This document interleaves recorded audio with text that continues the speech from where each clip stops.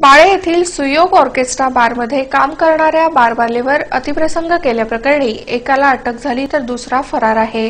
बाळे येथील सुयोग ऑर्केस्ट्रा बारमध्ये काम करणाऱ्या बारबालेला मारहाण करून तिच्यावर अतिप्रसंग करण्याचा प्रयत्न केल्याप्रकरणी एकाला अटक करण्यात आली असून दुसरा फरार आहे. ही घटना मंगळवारी सायंकाळी घडली. फौजदार चौडी ठाण्यात दोघांविरुद्ध गुन्हा दाखल झाला असून राखी गिरधर सिंग वय बावीस राहणार सुयोग हॉटेल बाळे. हिनं फिर्याद दिली.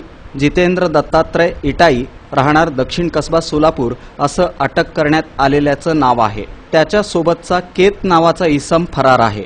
जितेंद्र यानं घरात घुसून जबरदस्ती करण्याचा प्रयत्न केला असं फिर्यादीत म्हटलं आहे. अचानक से मैं अपने रूम में थी टीवी देख रही थी एक आदमी घुसाया मुझे मारने लगा। पूछा, तेरा नाम क्या है? तो उसने मेरा नाम लेके फिर मुझे मारना शुरू किया। मेरे साथ ज़बरदस्ती करने की कोशिश की।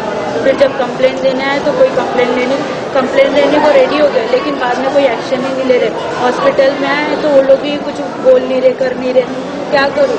और उस आदमी को जब हमने पकड़ा मारने के लिए, उसने मेरे साथ जब ज़बरदस्ती की तो लड़कियों ने उसको पकड़ा मारने के लिए।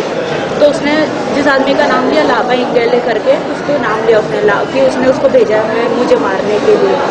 तो आग- भी ये दूसरी बार हुआ है मेरे साथ हादसा मुझे मारने के लिए बाहर से लोग आ रहे दूसरी बार हुआ है। हाँ, कल वो दोपहर में हम कोई भी नहीं थे होटल के अंदर वो जेडी बोल के है वो होटल पे गया फुल डाइट दारू पिया था उसके हम दो तीन दिन थे। वो जाके उधर होटल में लड़की को पूछा नाम क्या है वो लड़की इसको बहुत मारा इसके साथ में इसके शरीर पे निशान है। मेरे को पूरा रेप के निशान है शरीर पे हाथापाई के निशान है, बिस्तर पे लेटा है। उसके साथ में हमारे दो लड़के और थे, वो भी उधर, उनको भी मारा।